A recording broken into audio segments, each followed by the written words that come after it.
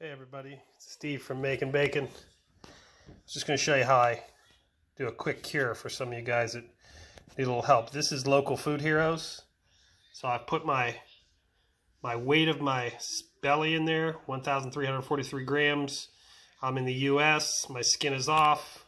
You can see I do two and a half to one on the salt. I like it salty. And there are my cure measurements. So I'm going to show you here how I go about um, mixing my cure together. Hope this helps. Okay, so I got my cure amounts here. see my salt, sugar, and uh, Prague powder number one. My cure number one there. My my kosher salt and my white sugar. It's my little scale I got here I like to use. I got a little tray. So what I do is, let's turn this guy on.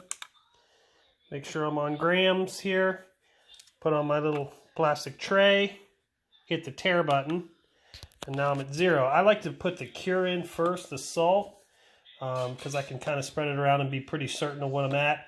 So this cure calls for 2.58 minimum to 4.3. I try to, I'll do about three maybe, just to make sure I've got proper amount. So I kind of sprinkle that in a little bit at a time. A little bit more.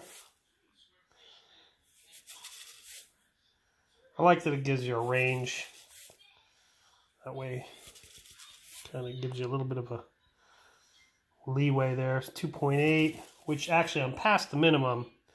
I'm going to go at about 3, 3.2. I could have went to 4.3, so I'm good there. So I'm going to cap that off. I'm going to hit my tare again. Back to zero. So I need 29.55 salt. 29.55 salt. I'm gonna seven, spread it out a little bit.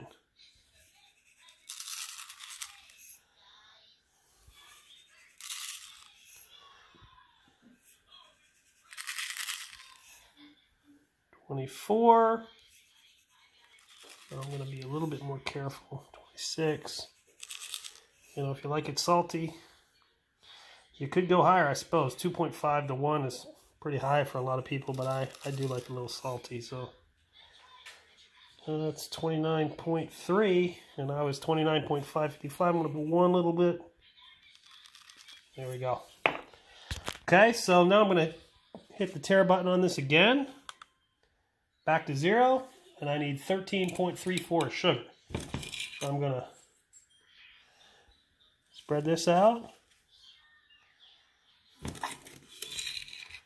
Six point eight, so another one of those should do it. 10, 12,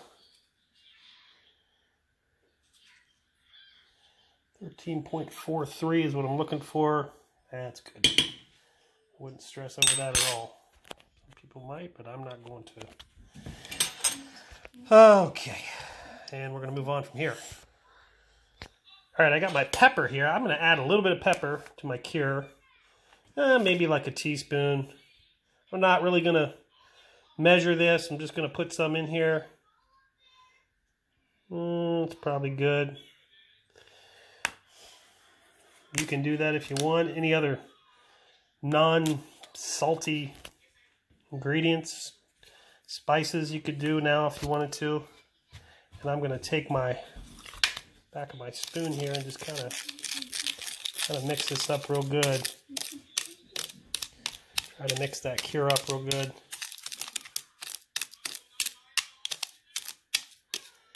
Okay, and then when we're done mixing this up, we'll get to